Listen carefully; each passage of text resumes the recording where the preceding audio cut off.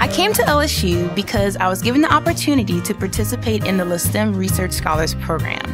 This program helps students get in touch with research opportunities, engage in mentorship, and get academic training skills. One of the awards which I've gotten a chance to win is honorable mention for the Goldwater program. The Goldwater Scholarship is a national scholarship in which STEM majors get recognized.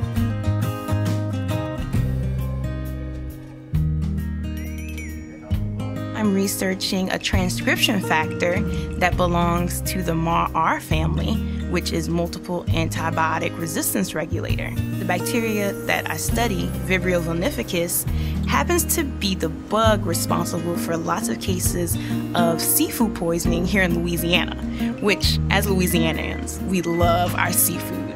So, this could be really big when it comes to finding potential cures and potential treatments for Vibrio infections.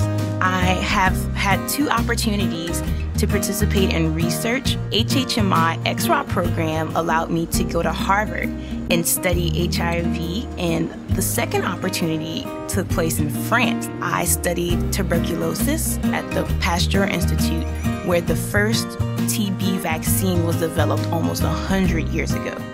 While I was in France, I had the opportunity to meet the Berlin patient. And the Berlin patient was the first person to ever be functionally cured of HIV/AIDS. And he even told me thank you for the research that I had done in the HIV field, which was just incredible to me. When I'm not in class, I hang out with my friends.